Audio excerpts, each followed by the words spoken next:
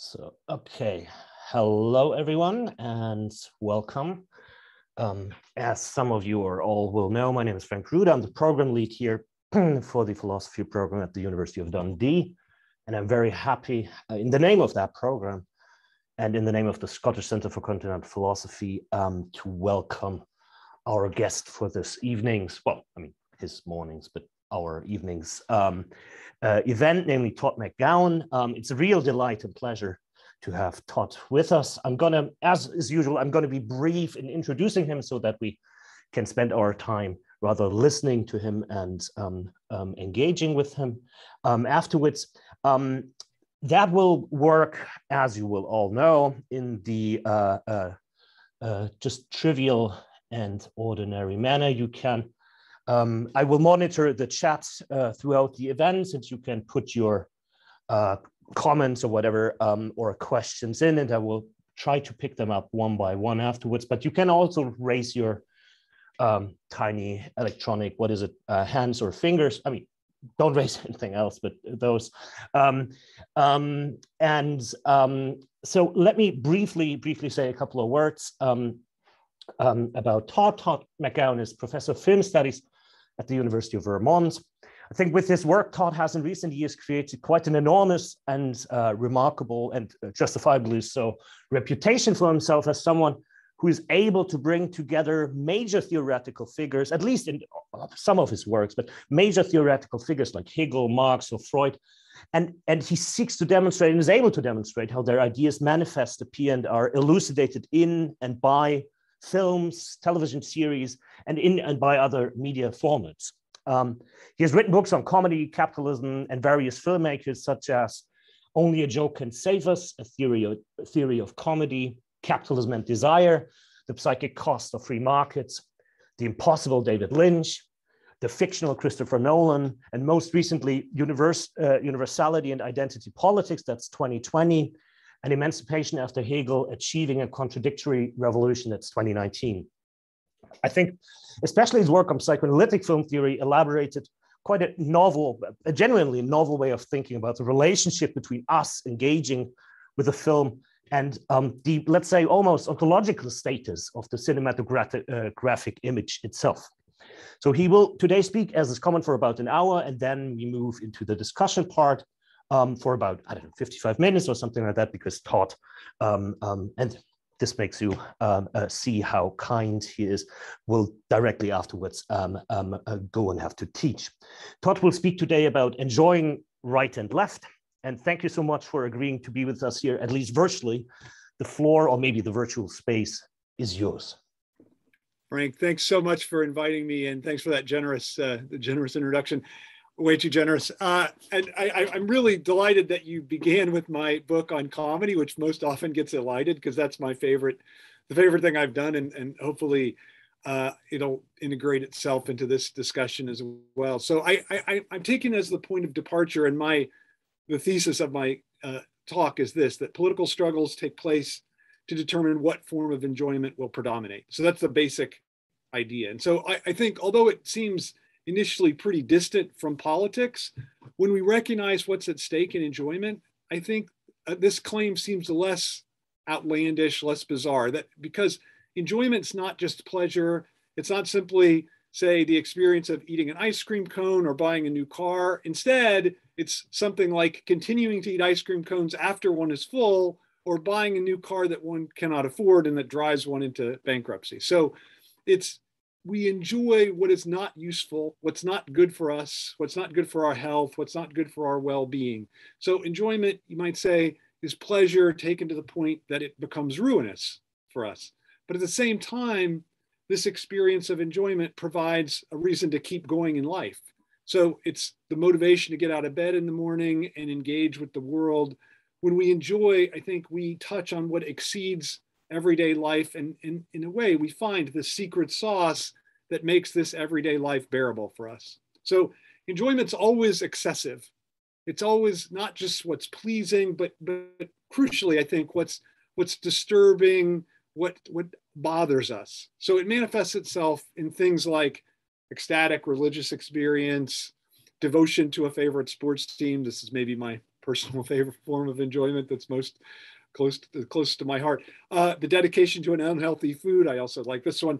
Uh, the passion for a lover who portends certain heartbreak. I'm a little more immune to this.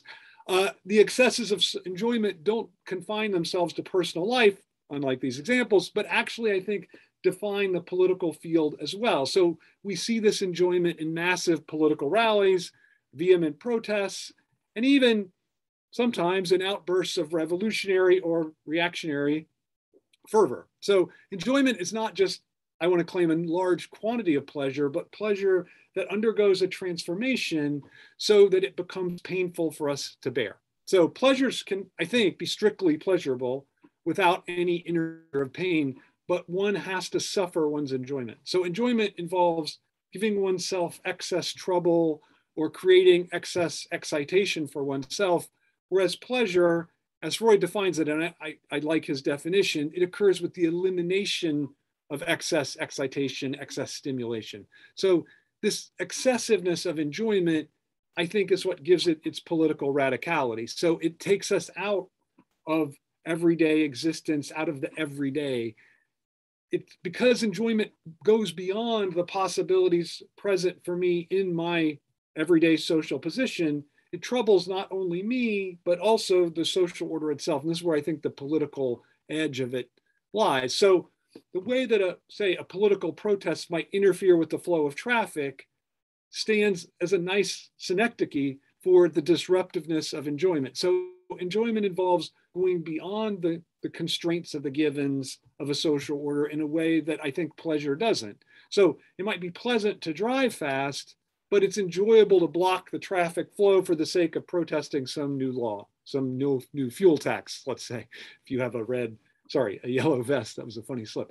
Uh, fast drivers keep things moving. Is a good leftist slip. Uh, fast drivers keep things moving while protests bring things to a stop. Or we might say pleasure fits while enjoyment doesn't. So this gives enjoyment this radical political charge relative to pleasure, which pleasure, that is, always relies on leaving things as they are. So politics is what gives a form for our enjoyment. So political campaigns, I think, offer the promise of some specific form of enjoyment to those who support them. And this is what energizes the support. This is why people get so invested in political campaign, political struggle. It provides a way of organizing enjoyment so that the possibility for this enjoyment appears maximized or the threat that others pose to it appears minimized. I think that's really important that it's not just maximizing my own enjoyment, it's minimizing the threat that others uh, represent for it. So enjoyment actually plays a determinative role, I think, in what society looks like. So one political leader, let's say, might allow people to take pride in and enjoy their nation by ridding it of outsiders. That might be the program. Another might offer the enjoyment of collective sacrifice to fight climate change. A third might propose a completely transformative move of society by turning capitalism into some kind of communist alternative. Not so much today. Uh, a social order's political structure emerges out of a struggle, I want to claim, between competing forms of enjoyment such as these. And the struggle itself, I think, reveals the nature of these of, of these competing forms of enjoyment. So, so we don't have to wait for what the realization of the political program is to grasp the operative form of enjoyment. Instead, we can see it in the struggle itself, in the form that the struggle takes. So every political position that people take up already demonstrates, I think, the form of enjoyment that they hope will prevail. So how one enjoys, I think, defines how one functions as a political actor. So I want to quickly take a look at the 2020 presidential election in the United States. I, I, don't, I hope to not be too parochial, but I know that this is a, this was followed around the world, but I, and I think it's actually mirrored in other global contexts. In fact, you could even translate this into uh, Macron Zemmour in, uh, in, in France at this present moment. So, so Trump promised to sustain a nationalist and ethnocentric enjoyment that he success, successfully, I think, unleashed in his one term as president. So he organized enjoyment through this slogan. Everyone knows it. Make America great again. By the way, I was going to wear the hat and but I I wouldn't have been able to cross the campus at the University of Vermont and I would have lost my job. So I I I I don't have a hat, but I, I was thinking of buying it just for the talk, just to to demonstrate. But I think it just shows the way in which that that even that piece of garb really embodies the enjoyment to such an extent that it, it's it's simply not allowed at the University of Vermont. Uh, but this this this slogan, this hat, enjoyed uh, sorry uh, enjoined allowed partisans to enjoy the excesses of the American nation, to bask in the nation's worst transgressions without any apology, and to believe in their racial superiority. So it was it was clearly there was a racial tinge to it. So Trump licensed acting without regard for the limitations that govern the social order. So, as a Trump supporter, one could do what? One could beat up protesters with impunity, one could identify with racist police violence, or one could wear this baseball hat that was certain to offend polite liberal society. So, there's a, as you, like you wear a hat, there's no, like I'm wearing this hat today, there's no, unfortunately, there's no jouissance enjoyment factor in it. But for the, the MAGA hat, the Make America Great Again hat, there is that. Uh, so even just wearing a hat becomes a source of enjoyment. To identify with Trump was also to enjoy his transgressions. And this is why I think he, he's a very interesting figure in this way and different than Zemmour, I think. That, that one could vicariously, I'm quoting him, grab them by the pussy, one could swindle investors, one could hobnob with celebrities like Tom Brady, one could do what? One could insult one's enemies without repercussions. And even, I think this is a nice little added part, one could partake in incestuous comments about his daughter's sex appeal, right? Which were just incredible, really. But I think that those weren't things that, again, I think a lot of people have said this, these weren't things that counted against him. But why didn't they count against him? They didn't count against him because they increased the enjoyment factor of supporting him. So his own transgressions actually turned him into a source of enjoyment for his followers and in no way detracted from his appeal, but were central to it because they provided a way for these supporters to enjoy in a way they otherwise couldn't.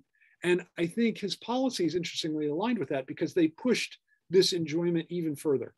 So when demonstrators marched against police violence toward the end of his first term, only term so far in office in 2020, Trump's response was to refuse to authorize, of course, any change in policing strategies, to blame the protesters for causing problems, to embrace those who shot protesters, and to call for harsher treatment of suspects. So excessive policing actually provided enjoyment for Trump's followers. We're now having a trial about this guy, Kyle Rittenhouse, who did shoot.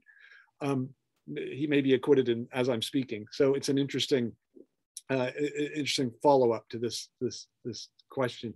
Uh, so so it so this this this policing, excessive policing, provide enjoyment. Why? Because it's unnecessary violence violence that goes beyond what's necessary for the police officer to use and control the situation. So the excessive police violence gave Trump supporters a path to enjoyment that they wouldn't have they would not have had without him and without his embrace of the unruly illegal policing. So this excess also controlled the barrier, and this is something really crucial to the right-wing form of enjoyment. It controlled the barrier between those who belonged and those who didn't. So that idea of controlling that barrier, policing the barrier between belonging and non belonging, is, I think, what defines a right wing enjoyment. It's dependent upon that barrier. So the violence created belonging for Trump devotees because it forced others into the position of non belonging. So those drawing attention, say, to the nation's racism or poverty rates, revealed for the followers of Trump that they didn't properly properly belong to American society. So Trump organized the enjoyment of his supporters around the belonging of these supporters, which required highlighting that others didn't belong. So that's the really crucial point. So anyone mentioning, taking note of the nation's failures helped to constitute the group of Trump supporters precisely by providing these outsiders whom the group could enjoy hating. So their enjoyment depended on someone occupying the position of non belonging on the outside, someone who wouldn't fit within the social field and thus could serve as a site of enjoyment. So it's interesting that the enjoyment comes from those who are non-belonging outside, even though they're serving to make the group of those who belong. So the key is that those on the right didn't just disagree with their political opponents, but they actually experienced a feverish, enjoyable animus towards them. So this feverish animus was, I want to say, the political enjoyment of the right. An enjoyment that manifests itself in, you hear these terms all the time here, I don't know about around the world, owning the libs, bashing political correctness, and now the most recent form is uh, attacking what they call CRT or critical race theory. So the Make America Great Again movement needed enemies who were holding America back from this supposed return to greatness. Otherwise, the movement itself would lose its raison d'etre. So it wouldn't have any reason to be, and it would lose also its mode of enjoying. So it enjoyed through those it despised and through their position of non belonging. And Trump promised the nation uh, an enjoyment of an ethnic, ethnically homogenous society that had clear enemies in the advocates of, say, political correctness or against police violence. So this term, political correctness, had a broad signification. It meant for him anything that spoke to impugn the history of the United States or the racist structure of American society. So you're being politically correct in Trump's idiom if you got in the way of any real unapologetic American enjoyment with qualms about the nation's actions or about those of its designated heroes. The irony, I think, for Trump's form of enjoyment, again, like all right wing forms of enjoyment, is that it depends upon those who it vilifies in order to nourish it. So, right wing enjoyment is fundamentally parasitic. And we can see an example of this, I think, in the fight against those who wanted to remove statues commemorating Confederate war heroes. So the, the, the American Civil War and the, the, the, devotion to the heroes of the South was an integral part of this form of enjoyment. So to take down Confederate statues, which was part of this movement in, in 2020 and even uh, just prior to that, but to take them down was to impede American enjoyment by damaging the ability to enjoy the excess of America's slaveholding past. So no one among Trump's supporters cared about the statues is interesting until someone tried to take them down. So conservatives weren't flocking to pay homage to the statue of Robert E. Lee or Jefferson Davis or any of these Confederate leaders prior to this attempt to, to knock them down. So the statues had no value. No one took pleasure in their aesthetic beauty, such that it was, but their excessiveness,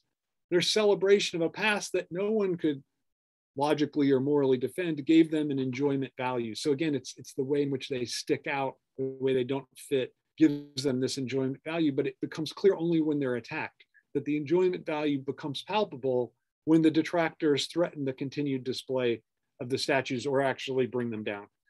And that occasioned a very famous rally that I'll talk about in a second. So the enjoyment value sent conservatives, conservative activists marching into the streets to preserve them. And had the statues only provided pleasure, I want to contend, no one would have protested their removal. So the enjoyment that Trump promised and proffered required an enemy, such as those taking down the statues. And the, the enemy gives the conservative a position on which to find its own excessiveness. So it finds the excessiveness through the figure of the enemy. In response to Trump's ethnically homogenous nationalism, Joe Biden initially appeared to offer a different way of structuring enjoyment. So there's something something new, something different. Uh, so for Biden, there was enjoyment simply in returning to normal, which meant, of course, simply returning to the capitalist American society before the Trump presidency. And his statement to, Amer- to European leaders, America's back, I think typified, really typified this position. While just returning to normal seems to be a position relatively bereft of enjoyment, Biden's candidacy actually reconstituted normality and in a way that brought tears of enjoyment to people when it triumphed. I my my uh, girlfriend from high school emailed me and she's like, I was just she wasn't even a she wasn't even a Democrat. She was a Republican. And she emailed she was like, I couldn't stop crying when Biden was elected. that was the last I heard of from her. I don't know what that means. Uh, so normality became a site of transcendent enjoyment after the Trump years when corruption and prevarication functioned as the norm, right? So despite his overall pedestrian qualities as a candidate, or maybe even because of these qualities, Biden came to embody the perfect alternative to the form of enjoyment Trump offered. He presented people with their old political system as a new form of enjoyment, which led to Trump's defeat, uh, or as Trump calls it, the big steal. Uh, so uh, his conjuration of restored normality as a way of organizing enjoyment managed to, managed for a time to win more adherents than Trump's fervent nationalism. But Biden, I think, wasn't really so different from Trump as this account might suggest. Well, of course, he doesn't have Trump's racist nationalism and overt corruption for sure. He took a tack remarkably similar to Trump by focusing on an enemy. So one could promise the enjoyment of a return to normal only if one had a figure of abnormality to fight against, right? This figure, who was it? It was Trump himself, right? Trump became the outsider destroying the American system that Biden and his followers could enjoy hating. So to support Biden was to enjoy through the excesses of Trump. And this is one reason why Biden's support cratered. I don't know if you know this, but it's, it's utterly cratered now. It's lower than Trump's even was. Uh, soon, it cratered soon after Trump's defeat. So the unifying figure, the enemy that served as a source of enjoyment, had disappeared. So although the contest between the enjoyment that Trump offered and what Biden counters with appears to have high stakes, the contest actually doesn't illustrate the divide between the forms of enjoyment that characterize right and left. So the, the existence of Biden as an alternative, I think, reveals, sadly, the, the bankruptcy of the contemporary left, not just in the United States, but I think we see this almost everywhere around the world. So while Trump might adequately represent a rightist form of enjoyment, I think he does. Biden does not provide a relative, a revelatory leftist counterexample. He just doesn't. The structure, and, and maybe there's someone else in American political scene that does, which I'll, I'll get to.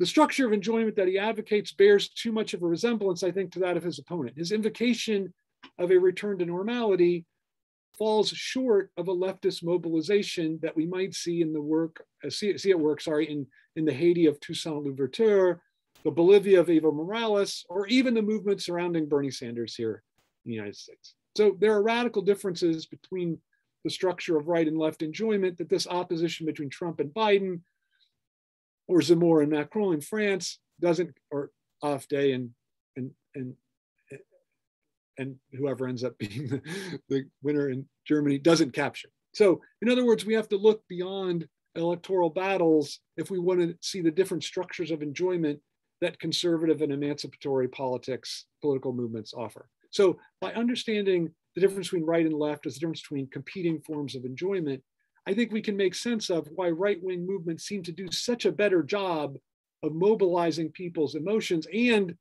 why left wing movements always seem ready to collapse. So the advantages of the right, I think, are not just institutional. The fact that obviously the forces of conservatism own the means of production, but they're tied to the form of enjoyment that the right accesses. But I think despite these structural advantages, the right actually operates with an enjoyment that it cannot universalize in direct contrast with that of the enjoyment of the left, which is inherently universalist. So right wing enjoyment is necessarily provincial because it relies on an outsider that threatens it. So the threatening outsider is not a contingent development that the rightist encounters, but the sine qua non of right wing enjoyment. The conservative position enjoys through this threat, which is why right wing leaders constantly belabor the dangers posed by outsiders more than their own positive political programs. I was talking to a Vermont state representative in the hallway just uh, prior to this talk, and he just said, I can't believe these Republicans, they, they never have a political program of their own. They just bash. And I'm like, that's of course, that's the point. That's the form of enjoyment that they're offering. So their plan, their plans are empty of enjoyment, though, without this outsider that threatens to undo them. So they need the threat, otherwise they founder, right? So due to this formal requirement, rightist enjoyment structurally excludes the possibility of bringing everyone together under a conservative umbrella. For this position to deliver the enjoyment that drives it, someone has to play the heavy and not belong. I think this is really crucial for me. So every conservative project demands an enemy in order to make it appealing to its adherents. Unlike the right, the left need not keep anyone out of the enjoyment that it offers. Leftist enjoyment is intrinsically universalizable.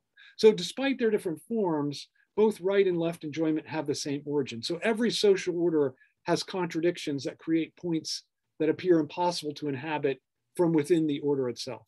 And enjoyment derives from these contradictions because they provide avenues for people to transcend the limits that the society lays down. So we're not just confined to the possibilities that the social order offers us and makes available to us. So to enjoy then is to do something like eclipse the given possibilities that the social order has available. And the contradictions of every social order, you could say, create openings to enjoy, openings to go beyond what's been authorized. Or another way to put it is enjoyment is an immanent transcendence, not an experience of the divine, not transcendent in that sense, but one in which we transcend the limits that the social order establishes as the constraints on the possible. So the, the social order is constructed in such a way that certain positions cannot register in its accounting. There's no possible social order that allow, can account for everything.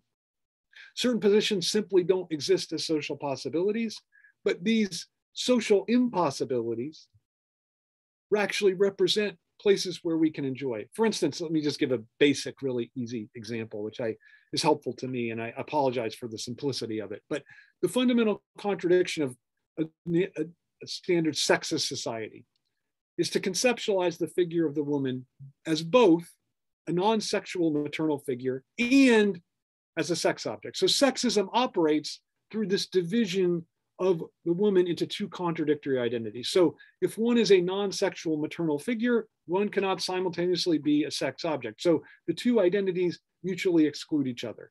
And yet sexist society constitutes female identity through these two identities, which puts all women, all women in a contradictory position. That's the contrary situation, contradictory situation. So sexist ideology attempts to deal with this contradiction how? By dividing women into two camps. There's mothers on the one side, there's sex objects on the other. So in this way, the contradiction becomes an opposition between two different types of people. And I think this, I would just, my own little theory of ideology is that's what ideology does. It turns contradictions into opposition. So some are mothers, some are sex objects. So the contradiction becomes obscured in the particular differences between women, although the contradiction remains a problem that every woman has to address and confront. So the social order's fundamental contradiction creates a point of impossibility. What would it be in this case? The maternal sex object, right? The person that does, doesn't choose, that is both of these things. So to occupy this contradictory position is to exceed the, conf the confines and the limits, the, the positions available in sexist society. And it's such excess that opens up enjoyment. The emancipatory position, the stance of leftist enjoyment, I want to say, is to occupy the contradiction. That leftist, leftism discovers universality in the social contradiction where there is no recognition, no authorization. And this contradictory position is universal because it's available to everyone, regardless of their social status or political power, that in a certain sense, everyone is in this position of, of the contradiction or of non-belonging. So this point of impossibility is socially impossible, but of course it's not ontologically impossible, which is why it is possible to run into sexualized mothers even in a very sexist society.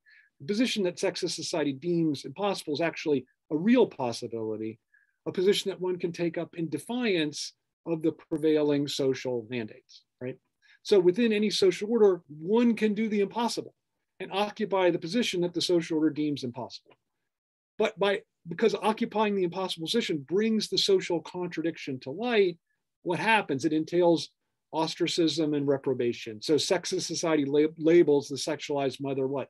Unfit, abomination, or even a slut, right? So, or people who have brought who, who bought into the society collectively police it by looking at her askance, trying to discipline her into some kind of authorized identity. So such assaults, I think, indicate the threat that those who embrace the contradiction occupy the impossible position pose to the oppressive social structure. Those who take up the position of, say, the maternal sex object in sexist society occupy this society's contradiction and do the impossible.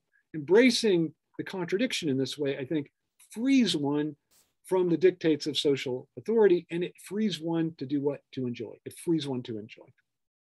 So enjoyment is possible in every social order because no social order is coherent and complete. Each is lacking.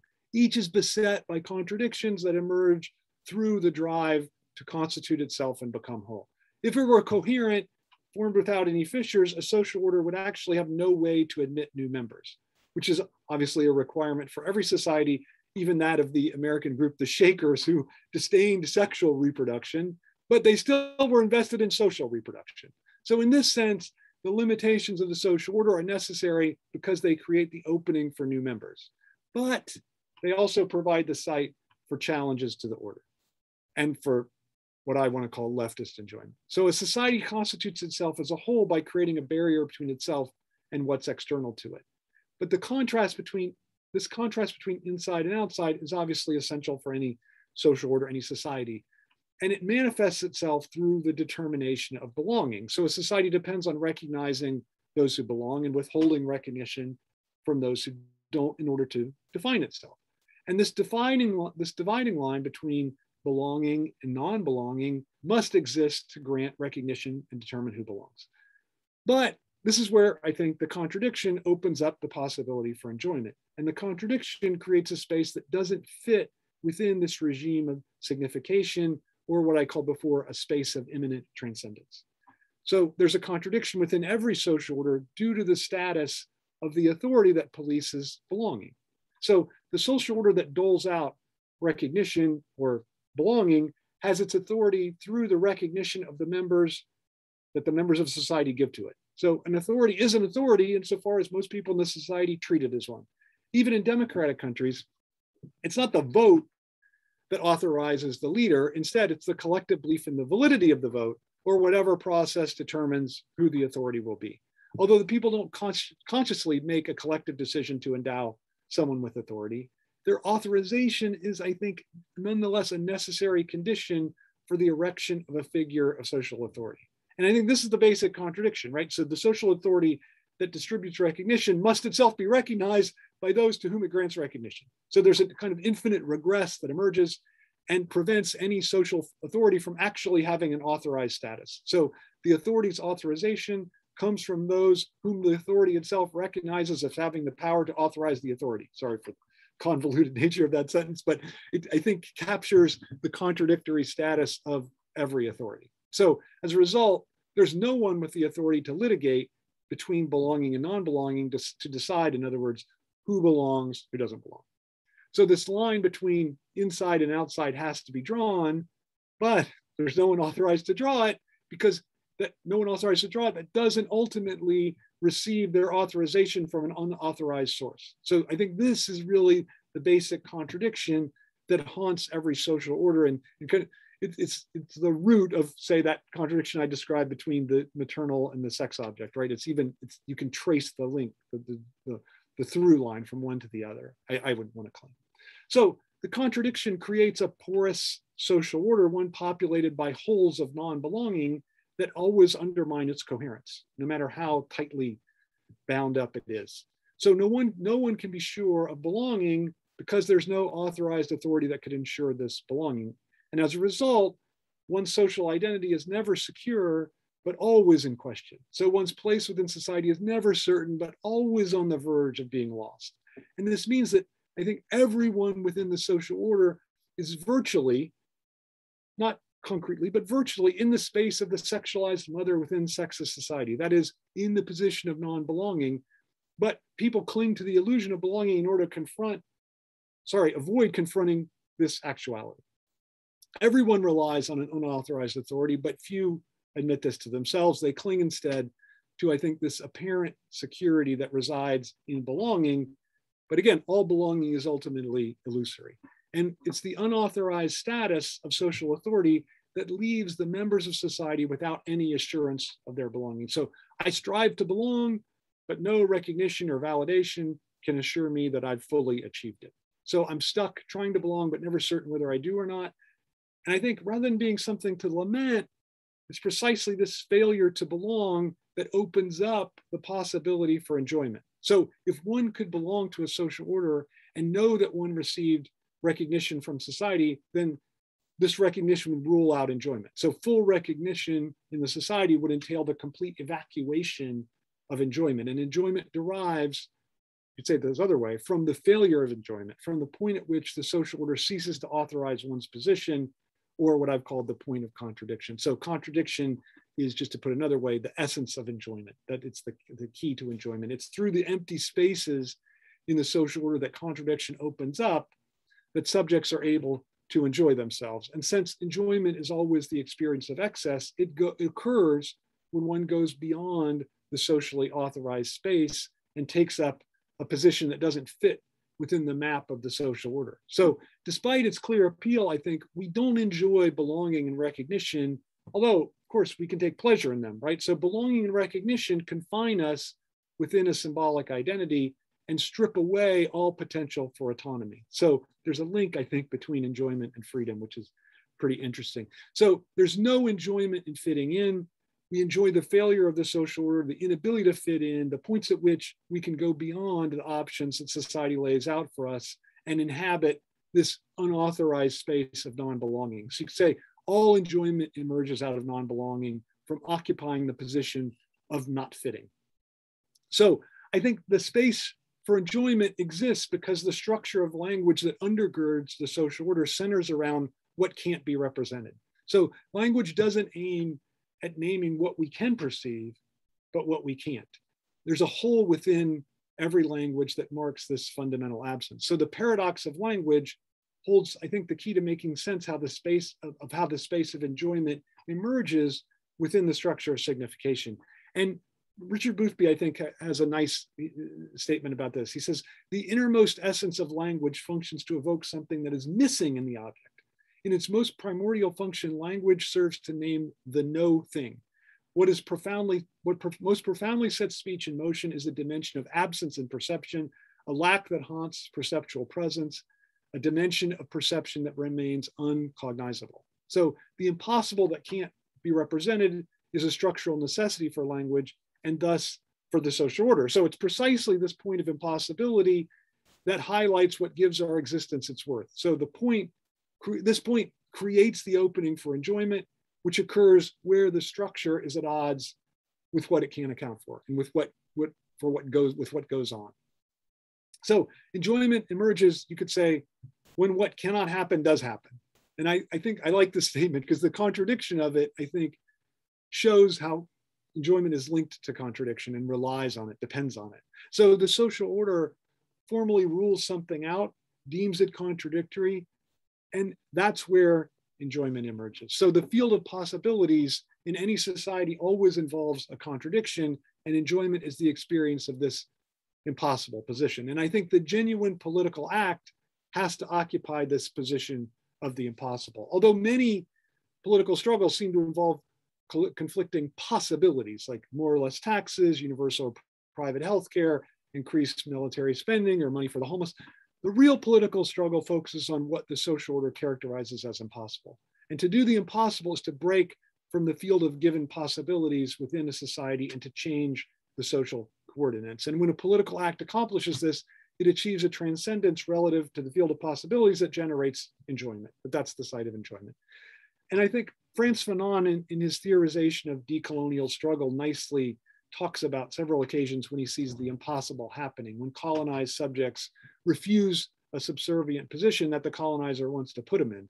And this is for Fanon the essence of the fight against colonialism. By refusing the possibilities that colonialism presents, the colonized subject does what appears to be impossible according to the structure of colonial relations. And this is what he says in Wretched of the Earth. He says the colonized subject discovers that his or her life, his or her breathing, heartbeats are the same as the colonists. They discover that the skin of the colonists is not worth more than the natives. In other words, the world receives a fundamental jolt. So, occupying the position of the impossible, that of equality for the colonized subject, brings with it the enjoyment of the impossible. The enjoyment comes as a jolt, as Fanon says, for the oppressing colonizer, but also a jolt for the colonized subject subjects themselves. So to do the impossible in this sense is to occupy the fundamental point of contradiction within the social order. So colonial society deems the colonized unequal to the colonizer, but at the same time, the colonizers trumpet a creed of human equality. So when the colonized actually assert their equality, they make this contradiction evident, as Fanon nicely points out.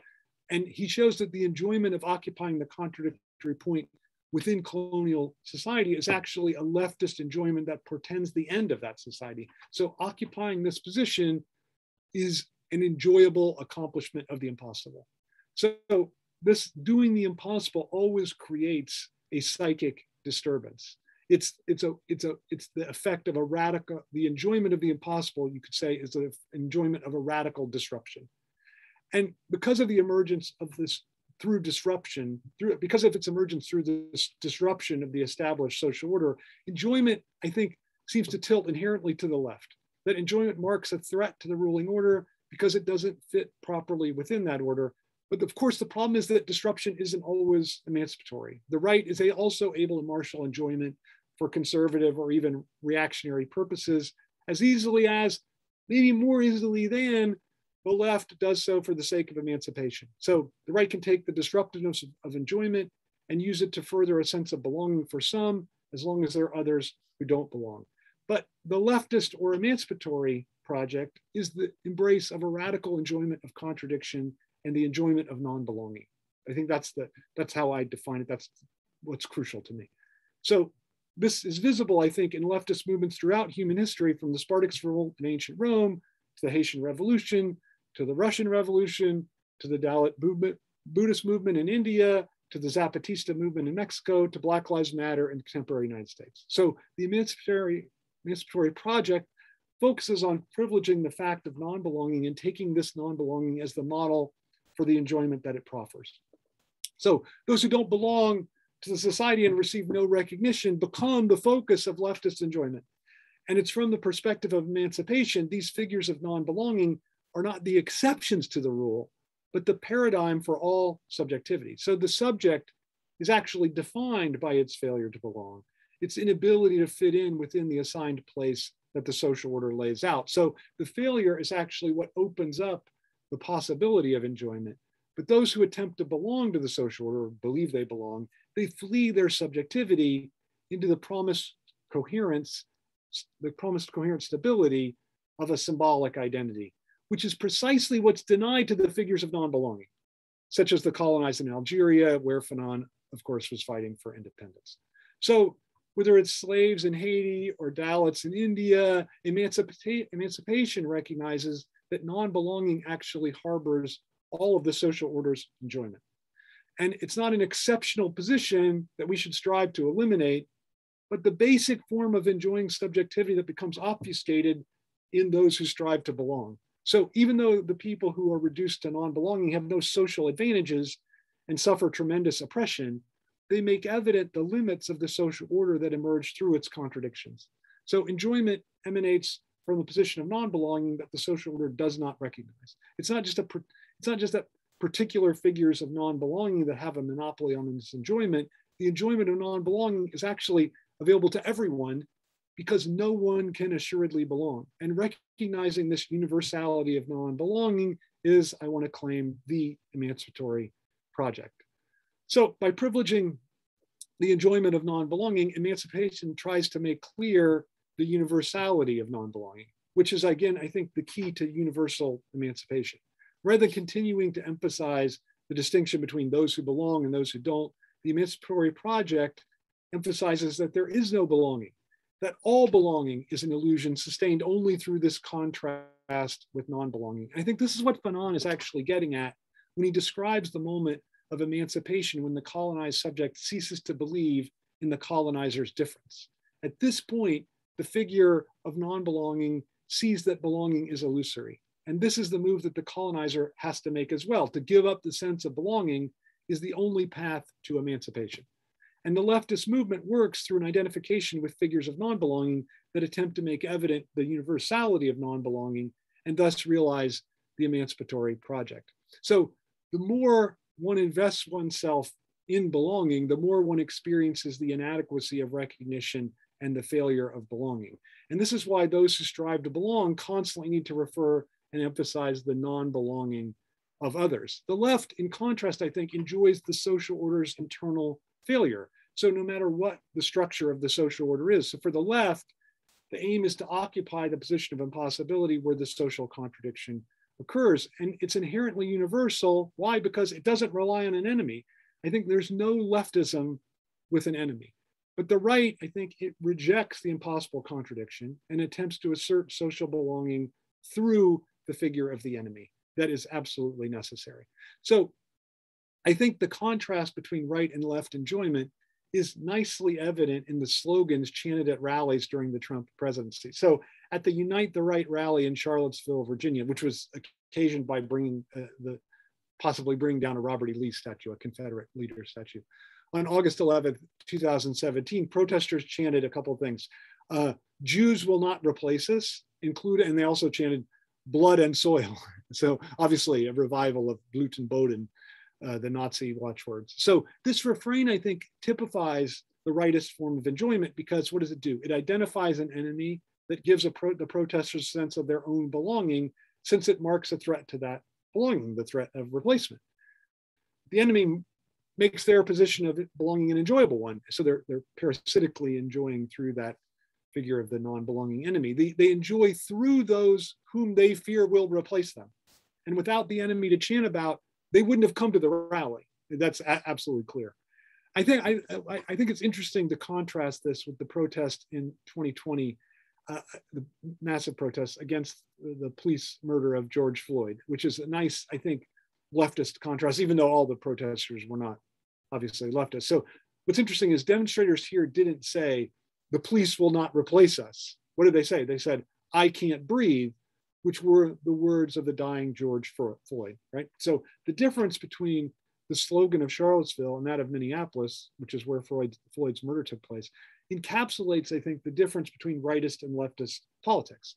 That the protesters identified themselves with the figure of non belonging, who the police killed precisely because they viewed him through the lens of his non belonging, which thus the I can't breathe statement.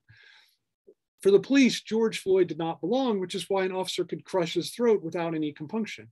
The leftist movement that arose in the wake of Floyd's death focused on this non belonging and attempted to reveal its universality, thus the chant, to force, in so doing, those who felt secure in their belonging to see themselves in George Floyd and not in the police choking the life out of him. That was the key way to, that they were trying to change how people saw the event. So the rallies that took place in the wake of Floyd's murder demonstrated, I think, a leftist enjoyment. People were not, people were protesting an unjust structure by aligning themselves with the person crushed by it. The enjoyment didn't require an enemy to attack, but occurred through the assertion of universal non-belonging. And I think it's absolutely crucial that emancipatory, an emancipatory movement doesn't militate, sorry, that does not militate for universal belonging. That is, there can be no emancipatory attempt to bring all those who don't belong within the social order because the sense of belonging can't be universalized. No matter how many people we include, belonging will always require some who don't belong and have to be outside in order to affirm the belonging of those who do.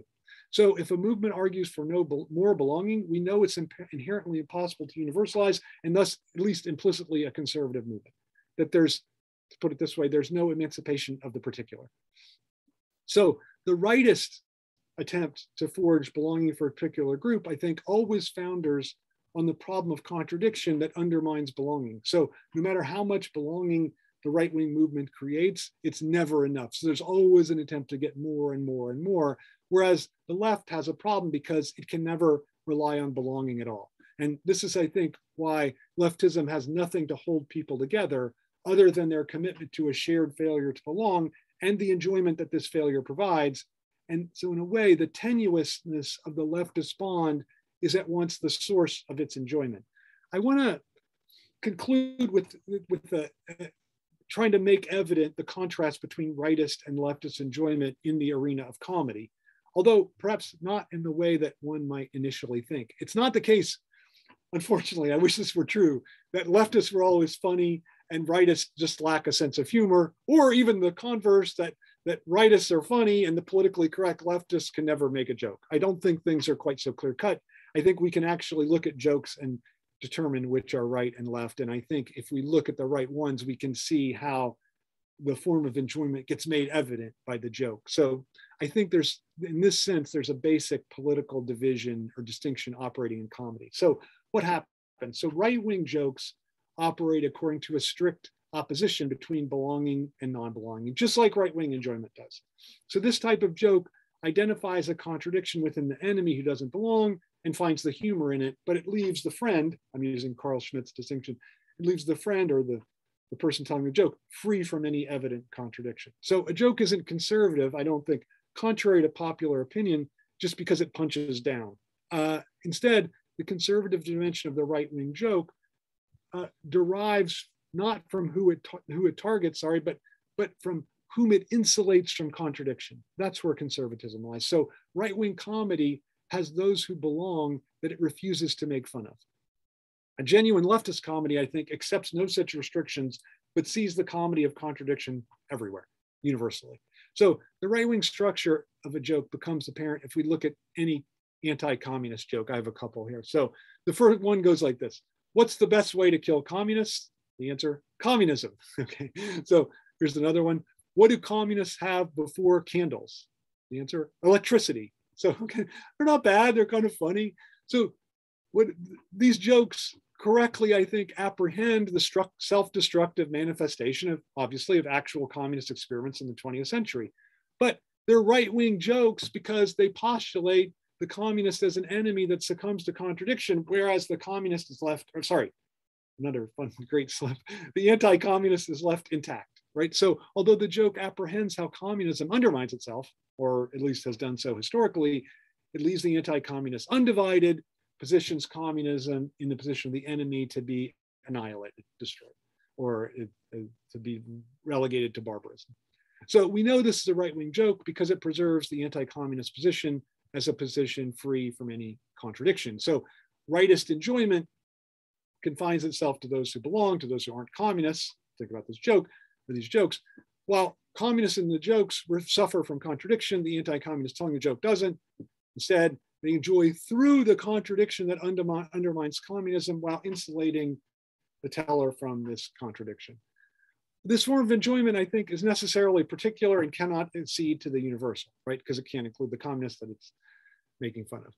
Uh, if it were to become universal, it would lose the exclusivity that gives it its right wing hue. And through this insistence on belonging, rightist enjoyment depends on the enemy that its jokes turn into a source of mockery. And a mockery correctly identifies lack in the enemy. Problem is that it leaves the subject itself unstained by contradiction, which is why it's not mocking enough. Uh, so leftism, in contrast, finds enjoyment within its own contradiction. And this enjoyment is universal because inheres in every identity. So the fundamental contradiction that animates leftist politics is the insistence on universal non-belonging that leaves the position of belonging empty, as I've tried to make the case. So structurally, there's a position of belonging, no one can occupy it. So this dynamic is, I think, inherently humorous and lends itself to jokes. And I want to look at one, this is one of my all-time favorite jokes, so I hope you think it's funny. And if you don't, if you've heard it before, sorry. And if you don't think it's funny, that makes me very sad. So, uh, so here's what happens. So a visitor arrives at a monastery to investigate what life is like at the monastery, right? So one of the monks feels bad for him, agrees to act as his guide and to explain the idiosyncratic ways of the monastery to the visitor. So dinner time comes, the monk takes the visitor to this large dining hall. They start to eat, and then all of a sudden, a random monk yells out, 15.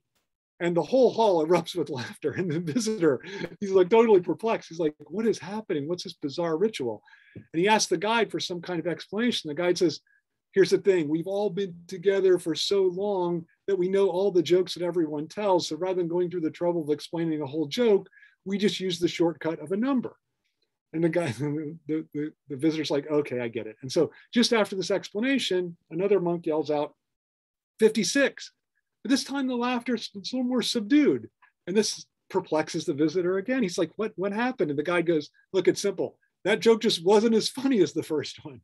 And by this time, though, the visitor thinks, hey, I've kind of got the hang of it. And he wants to try his hand at telling a joke. So he shouts out, 125. And then the dining hall just explodes and even more laughter than that occasioned the first joke.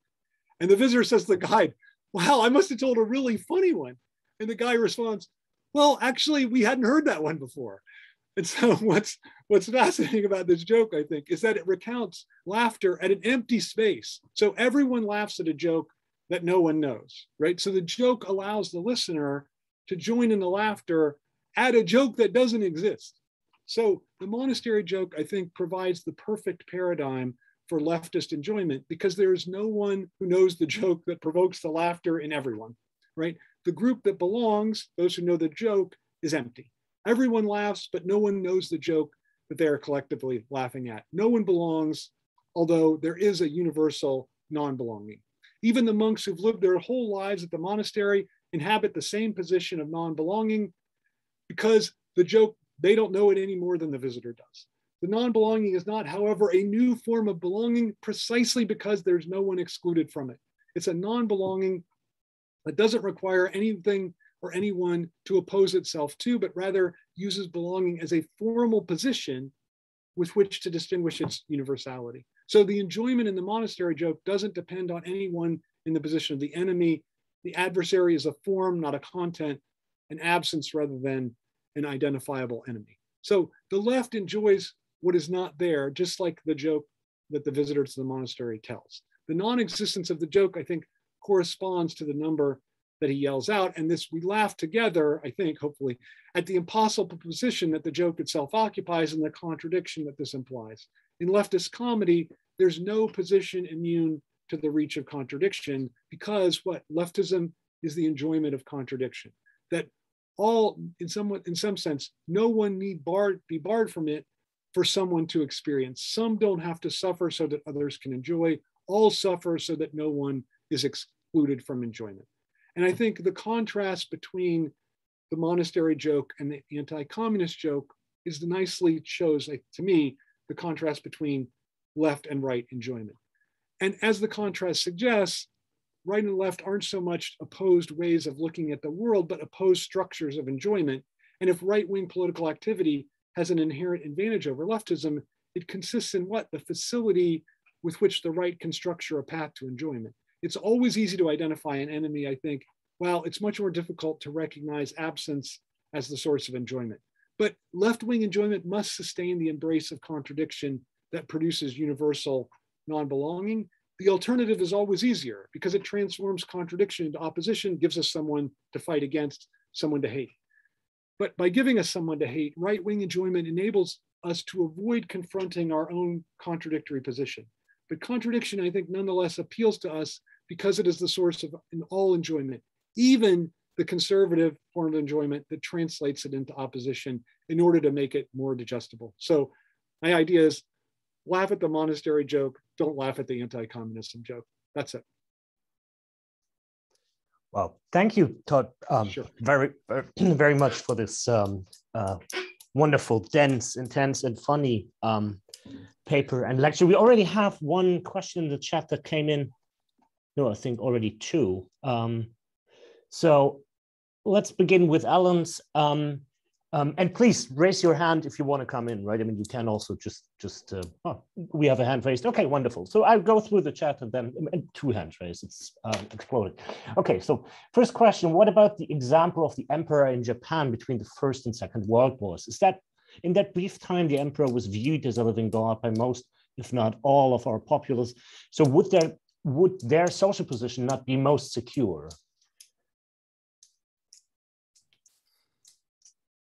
I don't think so. I think that uh, yeah, I think like the the, I mean, it's more secure than someone who's not viewed as a living god. But I think I think what that misses is the way in which that that, that maybe it's not even because I think it misses the way in which the higher your position is, the more quickly things can turn for you, right? Like I think at any point, the, the social structure can reverse its valuation of somebody of, of someone who's considered to be at the high point at the acme of belonging. Like I don't think that there's I don't think that there's any security in that at all. I I I, I I'm pretty convinced of that. That there's no like the the, the ability of of the for the collective sensibility to completely change its valence. It seems to me that's that's constantly a possibility.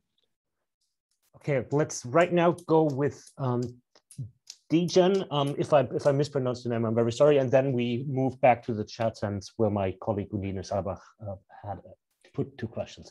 Please go ahead. Hi, thank you so much uh, for your talk. Um, I would have uh, just two more superficial or general questions about the scope of the explanation. So I really like this uh, focus on uh, enjoyment as it helped me to, uh, at some points during the political events of the past four years, I felt sometimes, um, I wanted to ask you, uh, to say something on the relation between enjoyment and political or economic interests. So sometimes I felt uh, this explanation thrown around that people are voting against their own interests, right? And often when I saw that at like big political campaigns, either with Trump or with uh, on Democratic sides with Clinton and Biden, I felt like, are they really voting against their own interest? Because it's not about some particular policy point that might not come true uh, the way it is promised, but uh, the entire community and enjoyment and all that is already delivered, right? And that's where I feel like uh, I, I, was, I, I, feel like there's a real point to this that um, the in, the interest is not the interest that people have in mind who claim that people vote against their own interests. Same on the liberal side uh, with Biden, that uh, where he wouldn't like even promise something that leftists would want to, but it's still about something else, right? Yeah. yeah. Um, that is uh, enjoyable about this. So this is my my first question about the relation to what is actual uh, interest here that would be dispassionate. Um, because I saw that also in conversations with either Trump supporters I know or conspiracy theorists I know, um, there is a genuine joy in doubling down on an impossible position. Yeah. Why would you think that it's like, who would want to double down on an impossible position? But there's genuine joy, right? Sometimes also we think we think like, are they biting a bullet uh, here just to stick with their own side of matters? But some bullets maybe taste well, right? There, there's fun in biting some bullets. Um, so this is like what I observed here. And so I wanted, my second question is, what cannot be explained by reference to enjoyment in political human behavior? Um, how, what is the scope of the explanatory, uh, what is the explanatory scope of your proposition? Because I would say, at least oftentimes when I voted and participated in, in political processes, I did so at great displeasure at the options that I had. Uh, so this was not about enjoyment in many cases. And I also wouldn't want to explain too much of, for example, a protest uh, against Floyd's murder as coming from a place of enjoyment, right? I'm sure that there is something like that in there, but um, enjoyment cannot.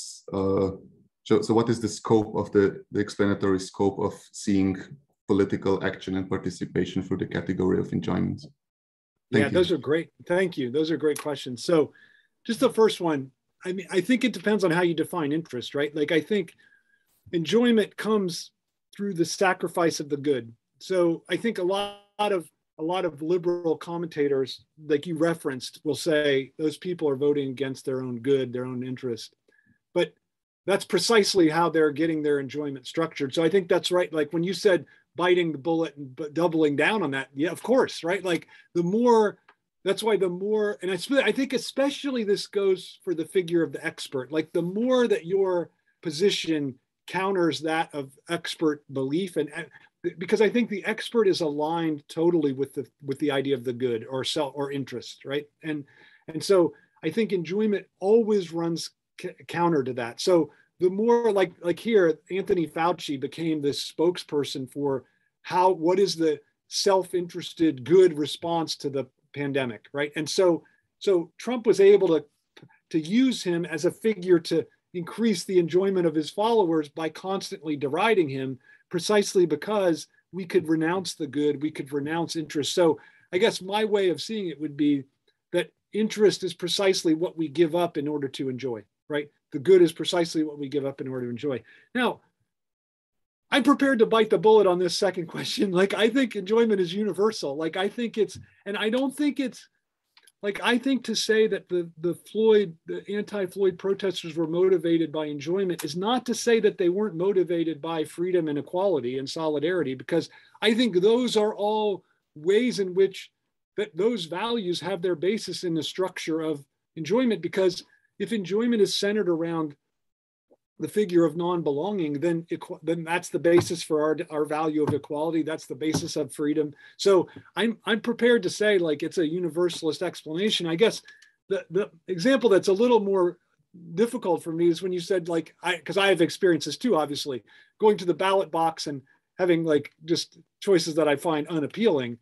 Uh, and and I think you're like at that point you're right. Like it's not so much a form of enjoyment as like how to stave off what you think is a disaster. So I think maybe that's a limit. Like you're you're trying to just you, you know in a way it's kind of like reality principle in, intrudes at a certain point i guess but i but I, i'm prepared to i'm prepared to say like no it's like there's a i do think that it is it provides a way to think about political action in a way that that does encompass equality freedom solidarity like all the val- all the values that that the left is fighting for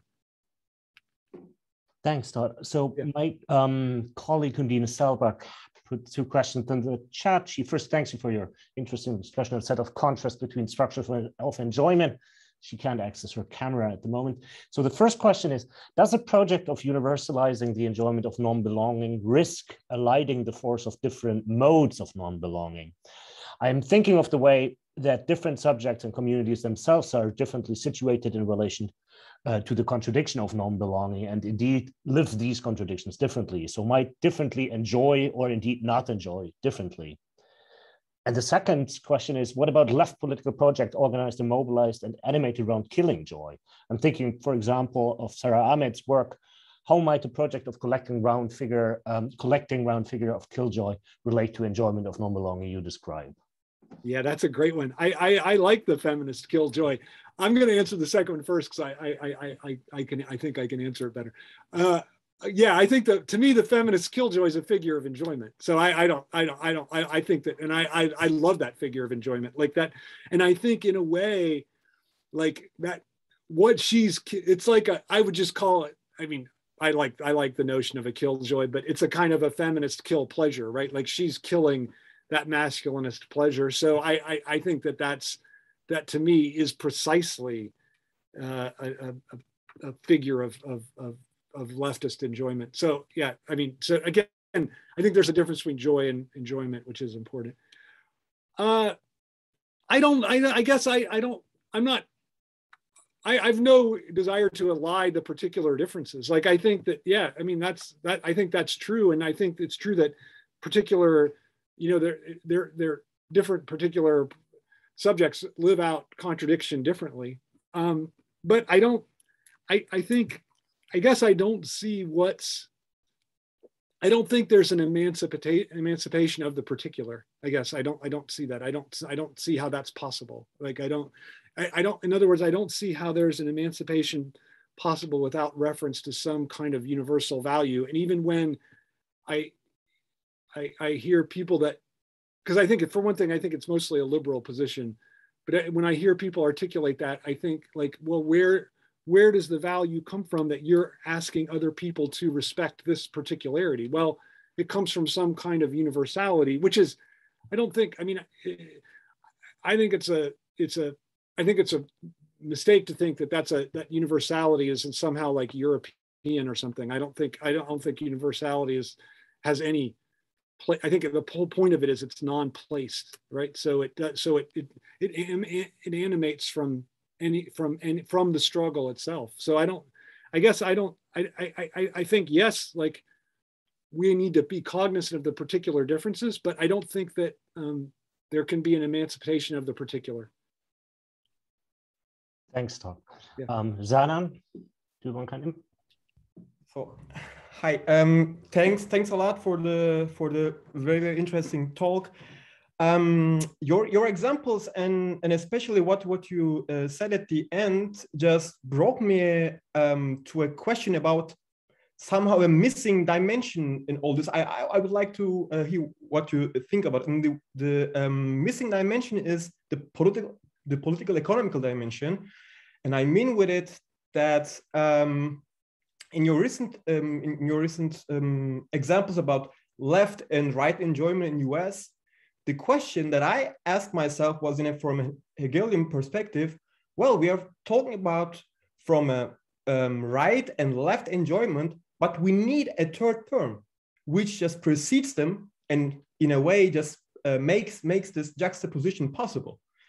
And I will just uh, think, um, just um, remaining a kind of in, in the in the in the way Badiou, uh, Alain Badiou talks about in, in his recent seminars, from a kind of uh, is not only the only one who is talking about it, but from a shrinking of middle class.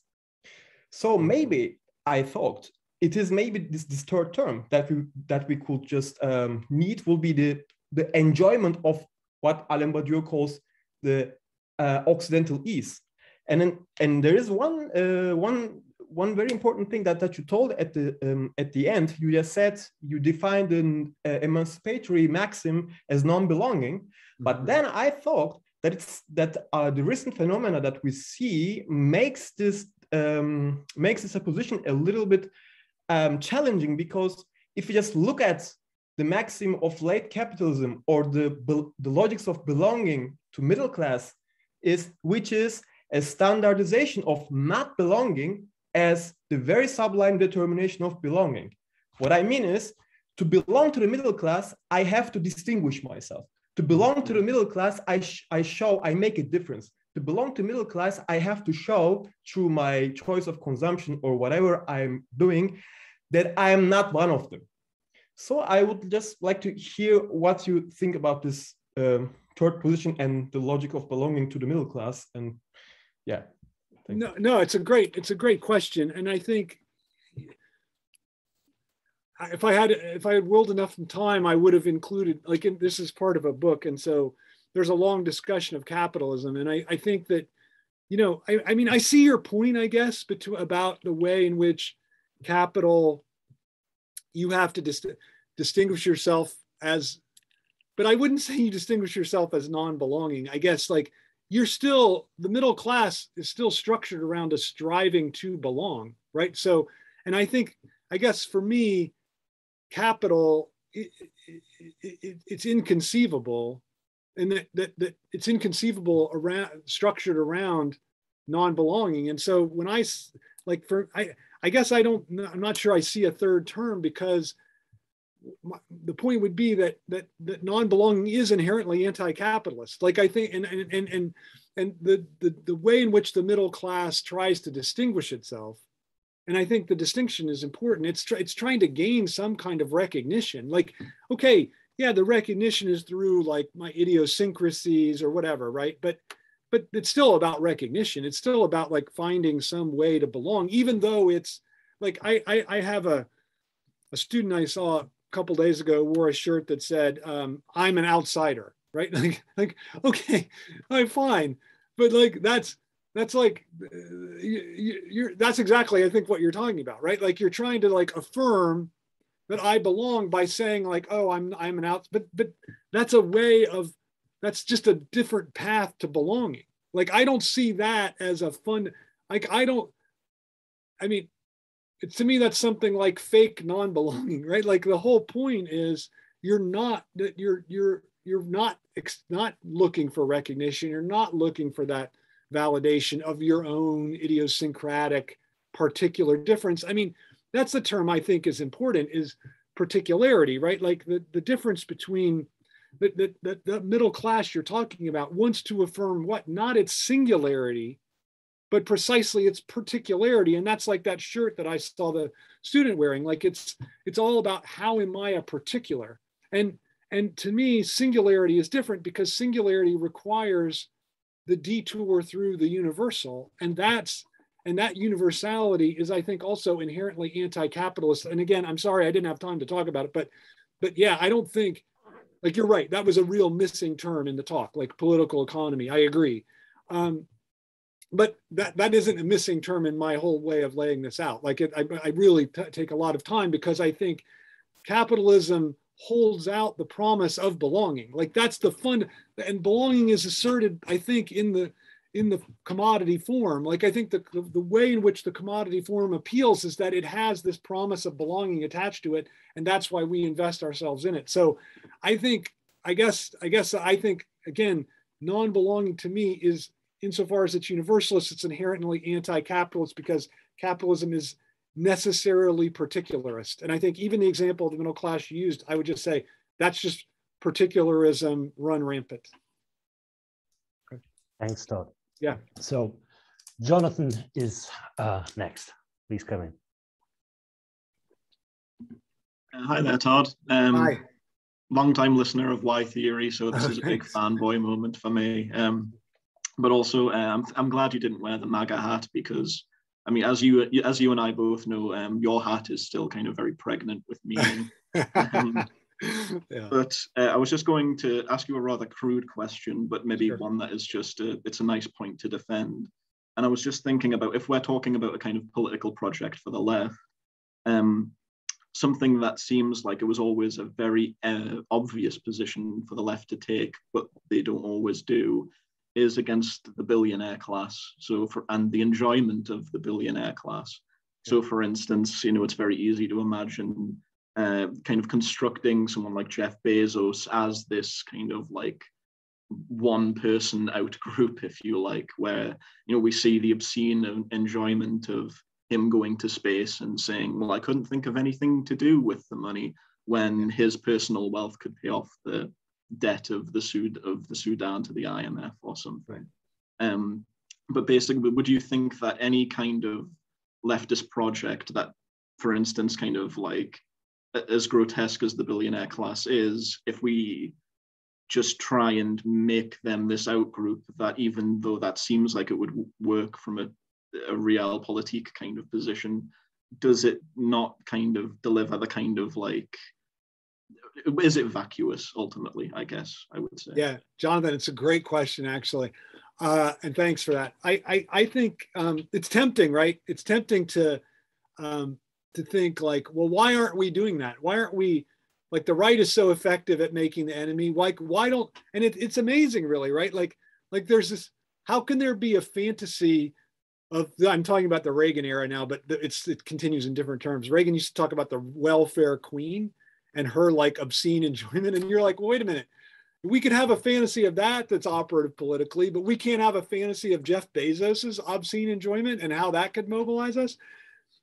Okay so that i think you're right. There's something really tempting about that. I think it's here's why i think it's it's it's the wrong tack to take because i think it ultimately is kind of giving in to that right wing form of enjoyment. And i think the other problem and, and this is ultimately i think the problem with it is that it makes it seem like that's something to aspire to but i think the i think what should be clearer is look at the poverty of Bezos's existence. Like, I think that should be much more like, let's take the money away from him precisely because he can't even enjoy it.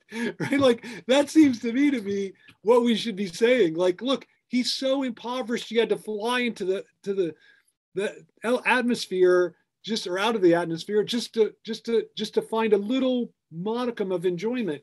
Let's like we can enjoy his money a lot better than that. Let's just so that's i just think like in a way i feel like it gives the billionaire class too much credit to say that they've that they're immersed in some kind of obscene enjoyment that they've taken from us. And i i i although i do understand the appeal of that and, and i know bernie sometimes will launch into that like the billionaire class and he'll kind of talk about it in those terms but i do think that that's a I love Bernie, but I think that I don't think that's a. I mean, I think the way we should talk about them is not about their obscene enjoyment, but precisely their failure to enjoy. And that I think is because that's the only way to structure the movement around the enjoyment of non-belonging.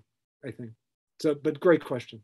Great question. Thanks, Doug. I put myself on the list simply because I I I think I I, I profit a lot if you clarified one point for me because I had a question I think similar to that of Zanan and similar on the, from another perspective as um, the first one of Undine. I was thinking about this um, joke that Derrida liked and that Slavoj sometimes um, um, um tells, namely um, like three people you know, in a church, a, a rabbi, uh, a Jewish a rabbi, he falls onto his knees and says, I'm nothing, right? Dear God, uh, I'm nothing a Jewish businessman stands up, falls onto his knees, and basically says, "I'm nothing to God." Oh, um, and then a poor guy, right, falls on a poor Jewish guy falls onto his knees and basically says, "I'm nothing." And the two others immediately go, "Who is he that he also thinks he's nothing?" Right.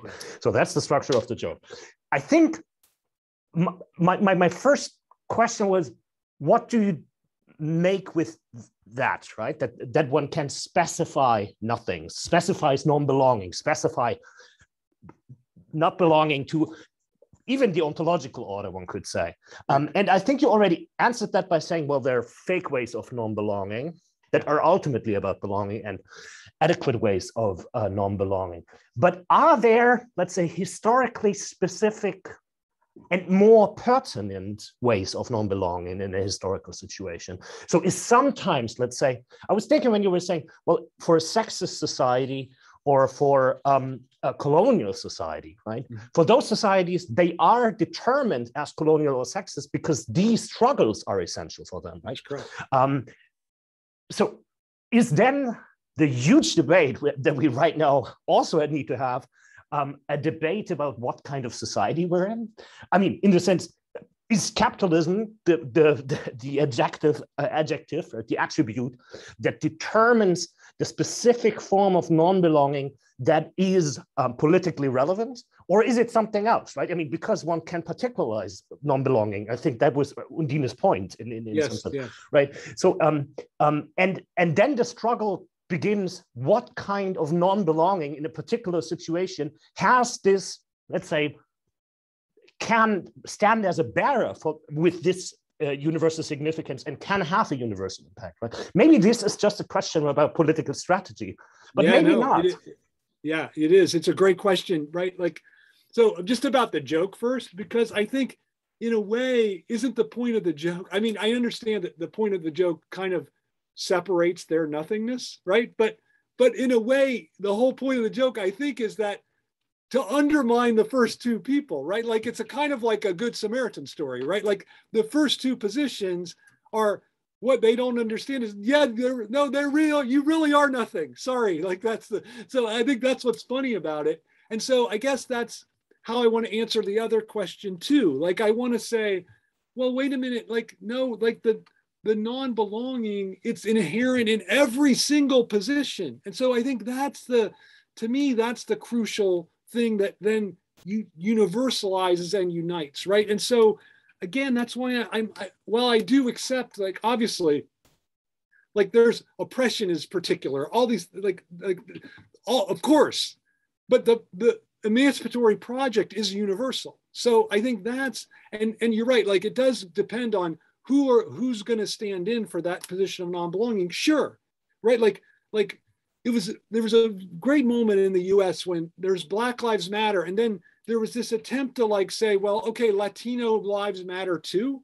And then everyone was like no no no you missed the entire point of the movement right? And so i loved that that that never caught on like that uh, that that that they just like to say that like once you then like because they tried to turn what was an inherently universalist movement into a it's okay it's one just one list of particulars. What's interesting is judith butler also criticized all lives matter by saying all lives matter jumps to the universal too quickly. And i'm like no no no no no no no. They've jumped to the particular. Like they jumped away from the universal right? And so i think your your point is is good in the sense that like it does matter but i don't it, it, the, you have to locate like the where the site of the universal non-belonging is going to be articulated from. Yes but i almost think it doesn't matter. Like i almost think like it doesn't like is it going to be black lives matter or is it going to be like was it in in 1804 wasn't the haitian revolution?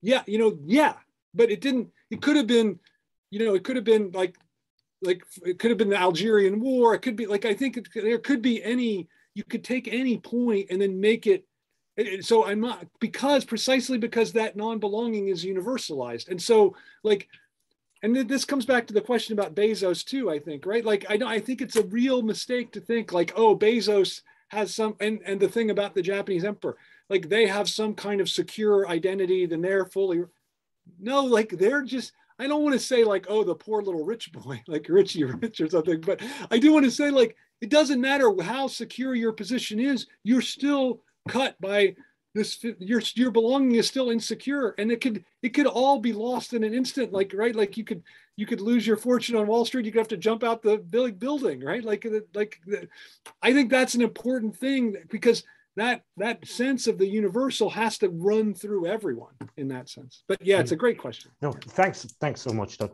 Um, jm please come Okay. Oh, and first of all, uh, I would like to, one second, I'm trying to unraise my hand. Um, okay, yeah, first of all, I'd like to apologize for coming in late. Uh, I live in central Colorado where the internet is very, very, it does whatever it wants basically. So by sheer coincidence, it dropped out right when, like this morning. And so I couldn't get in uh, when we started. And so I apologize. I feel like I'm kind of ironically enough, it, kind of fits uh, into your subject. I feel like I'm, it's non-belonging. um, right. But yeah, right. but I'm actually a huge fan of your. I, have been subscribed to your YouTube channel ever since like you basically started posting, and so I'm a big fan of your work. Um, and uh, yeah, I wanted to actually send you an email yesterday, but I thought I'd just tell you about it in this is it may sound weird I, I, forgive me if it feels like has nothing to do with what you've just talked about because and to be frank i don't know what you talked about because you know i wasn't here. Um, but uh, I, was, I was interested in your opinion on the role. It's, it's also sort of may strike you as sort of a banal question but you know i know you're sympathetic as am i and most of us here i imagine to sort of the Ljubljana hegel scholars right? And you know what makes at least uh, according to your own talks right what you think makes them distinct from a lot of um, other you know you know within what makes them distinct within the tradition of hegel scholarship is this sort of affirmation as you put it uh, of contradiction as opposed to this fixation uh, as the standard sort of like way hegel is taught you know if he's taught at all you know in like american universities right? Which is to say like you know he's a philosopher resolving or overcoming, or if you want to be, you know, precise and technical, right, sublating contradiction. Mm-hmm. And I've always thought, you know, about this in terms of, um, you know, I've always been very interested. Is, is actually this book I'm very interested in writing? I wanted to see if you could have maybe some input on this. I'm not sure though. It might be out of your, you know, um, I mean, it may not like pique your interest or anything, but I've always been sort of very interested in how like it sounds sort of like random, but how someone like a sounds crazy. Uh, the, I've always been interested in how the political philosophy of um, you know uh, of the Chinese famous Chinese revolutionary uh, Mao Zedong relates to this actually contemporary turn in Hegel scholarship. It seems like out of nowhere. But what I think is interesting is that um, there's this debate within the Marxist circles and within like scholarship surrounding the history of like Marxist revolutionary movements around the figure of Mao Zedong because he is sometimes criticized and during his lifetime was criticized by some Soviet like scholars and philosophers for rejecting the negation of the negation. Mao Zedong famously in certain articles actually rejected this concept and a lot of people criticized him. You know, and like I know I'm dealing with a very controversial figure here. I'm not talking about you know him on a personal level or him on a policy level you know, I'm not trying to praise or condemn him in that regard. I'm just talking about in terms of his contribution to dialectics as philosophy, right? There's this interesting theme in Mao where he he rejects the notion of negation negation. He says like, you know, the only law of contra- of dialectics is the unity of opposites. And w- what's sort of interesting is the standard interpretation, right, is one in which um, a lot of people interpret this as Mao orientalizing Marxism. Like you, if you write, if you read some books commentating on Mao's uh, famous text, you know, political uh, text on contradiction, they say like what he's trying to do, right? He's trying to inject sort of ancient Chinese concepts from ancient Chinese philosophy into like dialectic. Um, and you know, ultimately, you get with Mao is like this orientalized version of dialectic because um, for Mao, you know, Mao says contradiction is eternal, it's infinite. He has weird quotes you can find from him where he says like you know a thousand years in the future even once we become fully communist there will still be contradictions amongst the masses. And he has all these quotes.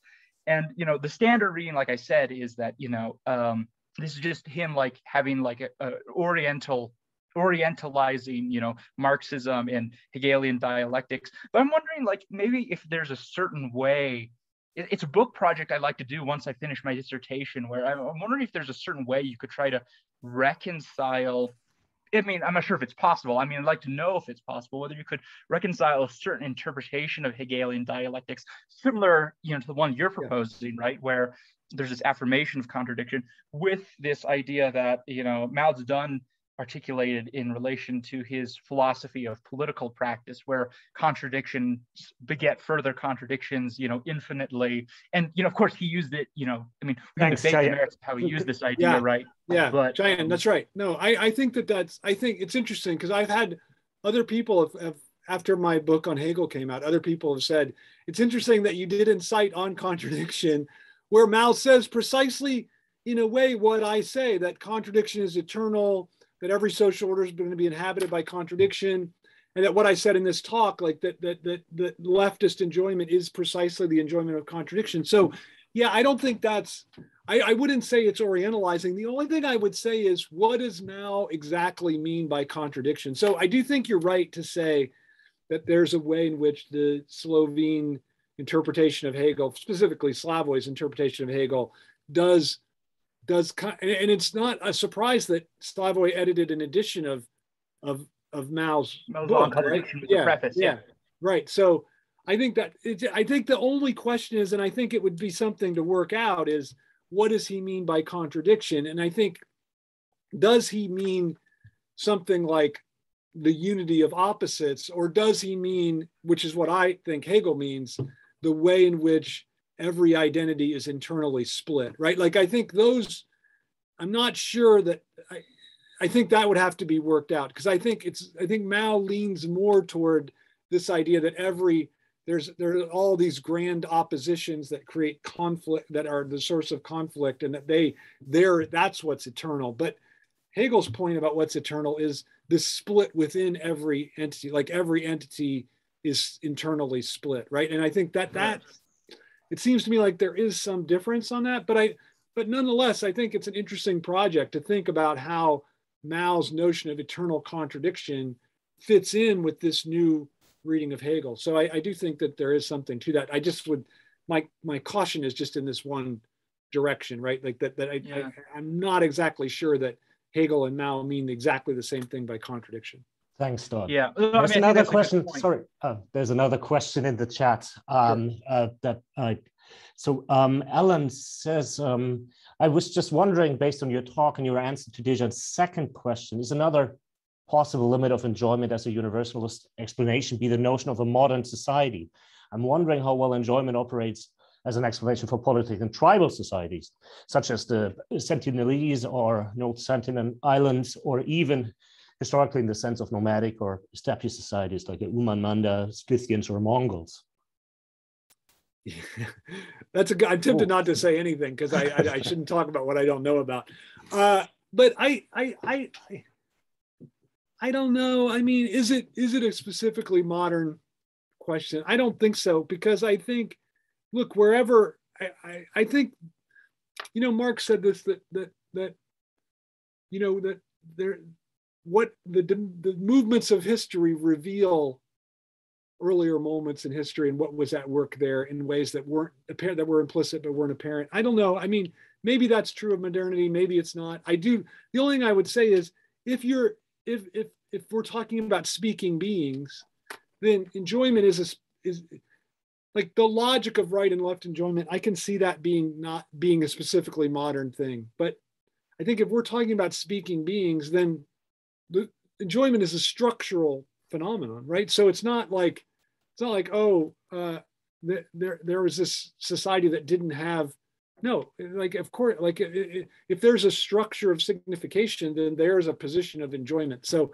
i, I the only thing I, I would say is that i do think like is the is the I, I I i'm tempted to say that the right the whole divide between obviously the divide between right and left stems from the from revolutionary france but but even as terminal terminologically uh but I, I don't know that I would say that that has a pre or a, non-modern uh, hold. I don't I don't know about that. I, I so I, I I don't have a good way to answer that question.